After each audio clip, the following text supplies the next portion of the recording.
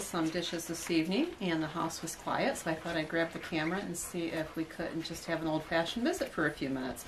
I don't know how um, well the volume will work with this clinging and clinging on dishes, so I will try to be quiet with it but get my job done. Last uh, visit we had in this fashion, I was um, dicing cabbage and I didn't get much diced. I had one viewer who was concerned that the knives were going too close to my finger um, at one point. and I looked and I thought, oh my, they were pretty close, but I was feeling the knife, so I think I was okay.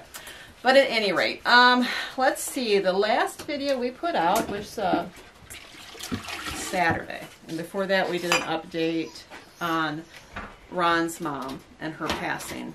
Um, we found out just yesterday that her memorial service isn't going to be till the 25th, so that gives us a little bit more time to get things together to so that we can go down um, a little more freely and not feel too too crunched up here with what we've left RJ to handle. So that's that's a good thing. But the real reason that I wanted to talk with you guys this evening was um, we did a video, I think it was right before we talked told you about Ron's mom's passing, about um. The video was uh, one that we did. We did a video on making bread, but I'd asked the question to our viewers about um, what draws you to different YouTube channels. What is it that they present to you, that they give to you, that you're willing to share your time with them? We had a few viewers. We had, a, first off, we had a really good response. We got a lot of people who commented on that, um, shared their likes and their dislikes. And I, I love it when people, you know, interact in the videos. It helps us see. We don't get to know you folks. Outside of your comments, we have no way to get to know you. So when you comment, even if we don't um, respond right away or, or if, even if we're not able to respond at all, we read every single one. And that gives us the opportunity to get to know you more on a personal basis. Um, I've had a few viewers that I was able to later, who, who would comment regularly, and later I was able to put a face with them because that's an oddity for a YouTube creator. Seldom do we get to put faces with our commenters. So comments are important because that's our opportunity to get to know you. And faces, when we can put a face, whether we find out later, you, know, one of the commenters has a channel, or or we we find them on Instagram, or they find us on Instagram, we can see their faces. It's really an amazing time for us. We really like that. But at any rate, we had a lot of good comments, um, and I'm still, with everything going on, I know you guys understand. I'm still working on the past four or five videos catching up on comments. I just, oh, it's just crazy. I've wondered how big channels do it. And I, I look at them and I see that they don't really interact at all. And I can understand why because it's hard. But at the same time, it's one of the best things about YouTube. Um, is the comments and knowing people are watching and why they're watching and what they like or even what they don't like. Um, it it's part of, I guess, modern day communication. Used to be sit on the front porch and now you sit in front of the camera or the screen. So, at any rate, um, the one video we did with the question is where I'm, I'm headed there. I feel like I'm talking to my family. I got so many questions coming at me or voices coming at me at once. I get so easily sidetracked and now I find I do that. Even when I'm thinking to myself, I get sidetracked so easily. My thoughts just go scattered. But there seemed to be some concern. No one said it but several people implied it um, when they said that they just wanted us to keep going the way they were going. I, I felt they were might have been concerned that because we asked the question, that we were seeking information so that we might be able to change some things about our channel. And I have to tell you this, that is, the question was asked absolutely not for that reason. That was the furthest thing from my mind when we asked that question. But it is true that we are looking at our channel and looking at um, things that we can improve it. And I'm going to tell you why improve it, all right? We've had this channel since 2010. Um, we, we've gone to spurts, life happens, you know, but each time we dedicate time to it, it, we usually feel very impressed of God. And when we pull away from it, it's usually ourselves that pull away from it because things get busy and we just, something has to go. And that's one of those first things that I pick to go. Um, and I don't know that that's always right because each time we come back to YouTube, we feel stronger and stronger being led back to YouTube that it is a form of ministry. And in the past year, God has really impressed in our hearts that that's that's what it is. We all, you know, we I've talked before with you folks about um, a ministry.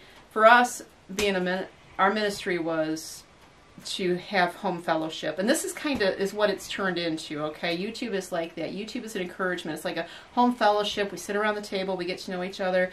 Um, we try to be real with you folks we you know of course we can edit out anything we want but we try to leave enough in so that we show that we know we're, we're, we're just human we make mistakes and so that you see us knowing that we're human. I think it's important because so many people behind, on the other side of the screen, when you're watching us, um, we can edit so much out. I think there's there's a, a sense of um, perfection that you can't obtain in real life, and so we we've tried real hard to be real there because we want you to feel like you are in our home and that you are with our family. So if we're going to change anything, it's going to be to create that more for our channel.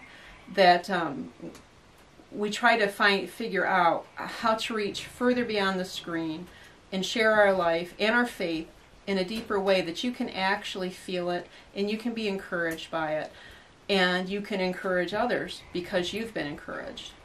Um, we're always encouraged by our viewers. I'm out of dishes in my pan. I'm not out of dishes. I'm just out of dishes in my pan. I'll be right back.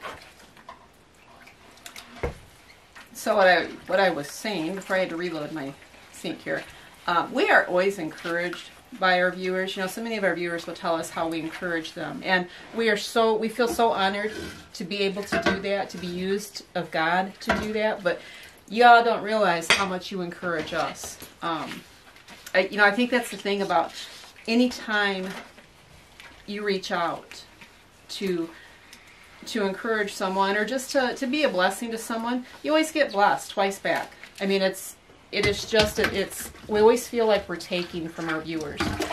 Um, now, with that said, I want to share some other things.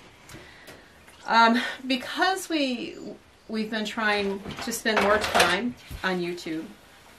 Um, to do more things. And it does take a lot of time. You know, I know a lot of people um, point out right away, and I don't blame them at all, that one thing that turns them off about a channel is a channel that constantly is pushing for them, for the viewer to donate or to support the channel. And I totally agree. Um, in fact, you know, not when I um, did the video on Tessie, Homestead Tessie, and I um, did a shout out to her. Love her channel. She's she's a great person. But I had mentioned in that video that I we hadn't done a shout out for a long time because of the last shout out we did.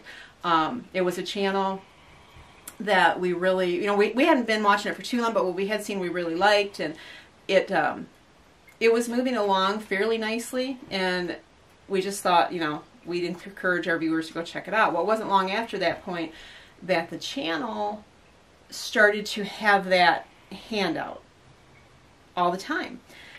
And that is a turnoff. That is a real turnoff. Um, in fact, we quit watching it. And just recently kind of felt drawn back to maybe see if things have changed. And actually, things had changed. They, they don't do that quite like they did. Um, I think they found out it didn't work real well.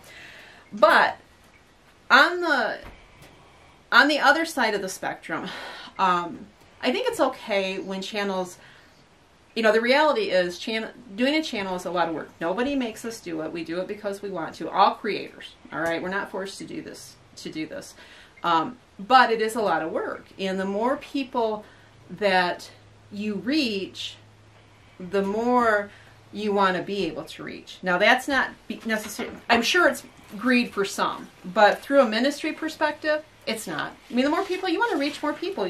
There are people out there just like us that all have problems and all need encouragement or all try and find a, a, a foundation or a path.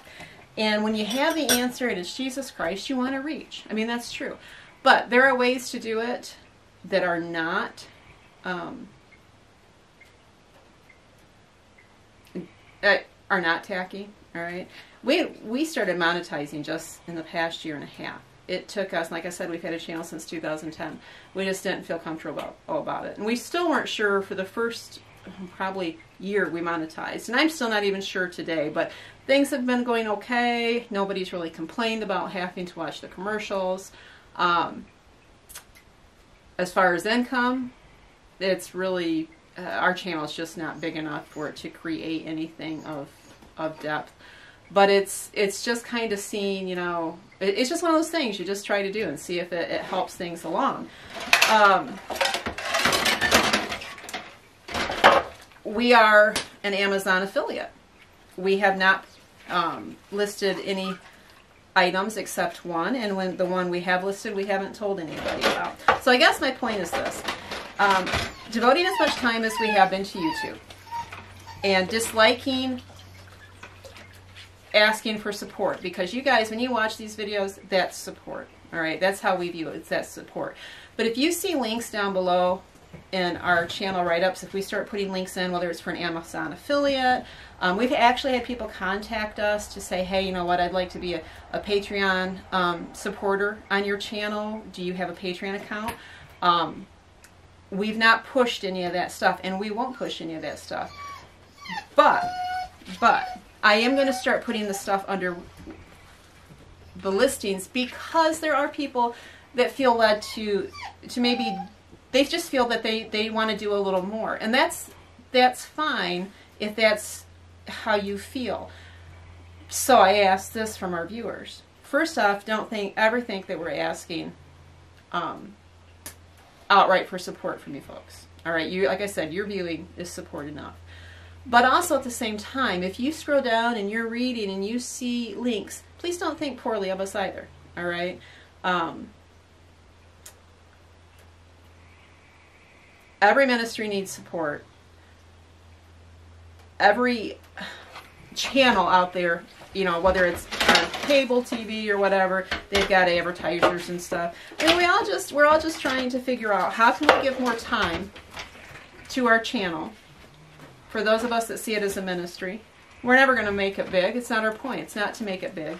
It's just if we have more freedom to spend more time, then we can make more videos. Not necessarily better. I'll still plan on doing the dishes in front of you. That's stupid.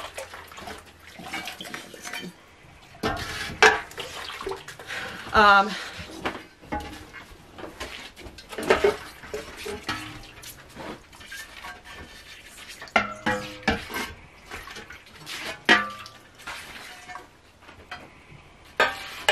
guess that that might be considered a channel change that we put links down below.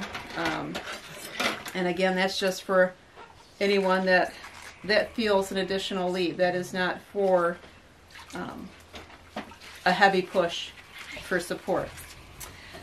The other change that is coming to our channel is we're trying to get into a flow. We had actually started a pretty good flow of daily videos, and then um, some stuff started happening with Ron's mom and stuff, and um, we haven't been able to record our daily devotions as regularly as we had been.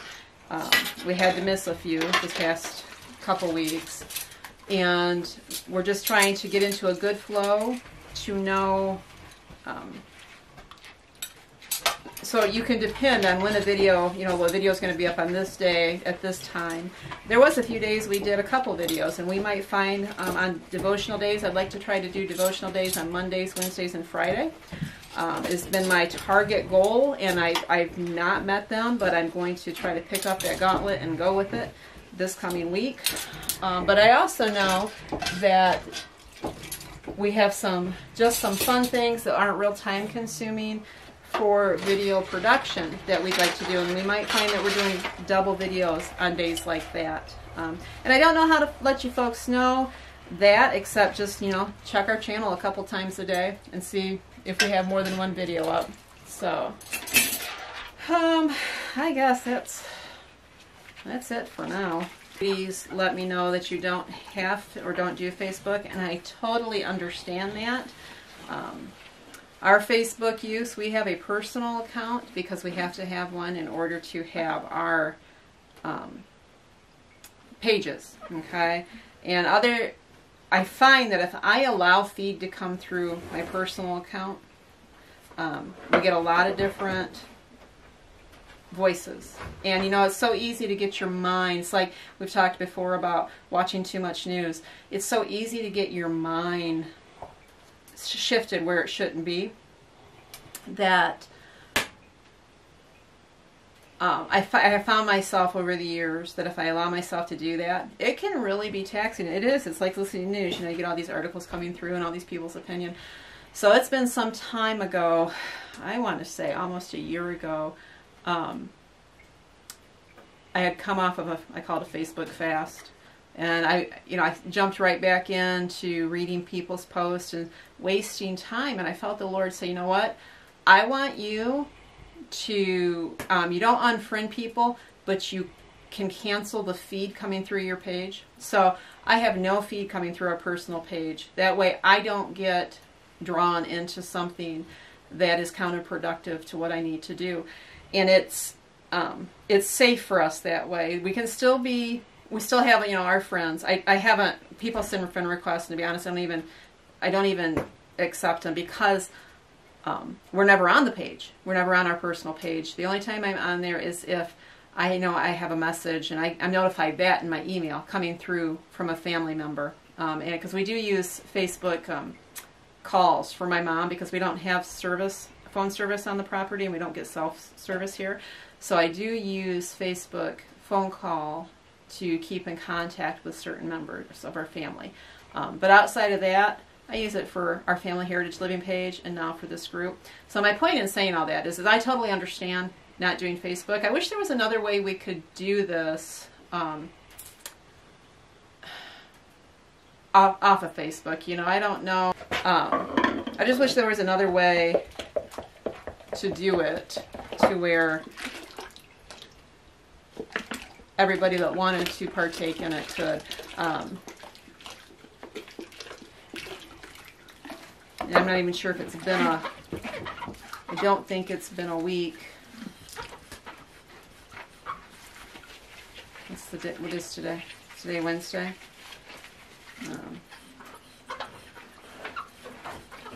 I don't think it's been a week. I think we did it. Did we start it Friday?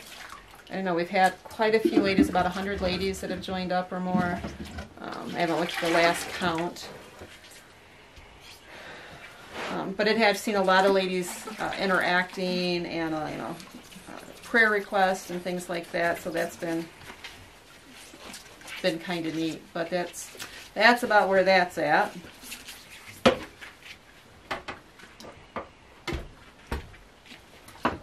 All right, so I guess that's all the updates. Um, that I'll share at this point in time. So, well, I hope you all have a blessed evening and um, enjoy your your family some tonight. You know, that's what our our channel's name, Family Heritage Living. We changed it shortly after we started the channel. I think it we started off calling it Artisan Acre. We had one acre down there, and um, we weren't quite sure where we were going with the channel, but it didn't take us long to realize that, you know, the heritage that we want to encourage people in um, isn't just homesteading, and it isn't just, you know, creativity, frugalness, but it's making sure that the reasons why you're doing those things is a heritage for your family. Um, family heritage living. What kind of heritage do you want to leave to your children? So, with that said tonight, I pray you guys make sure you take some time to enjoy your family and have a blessed night. We'll talk soon. God bless.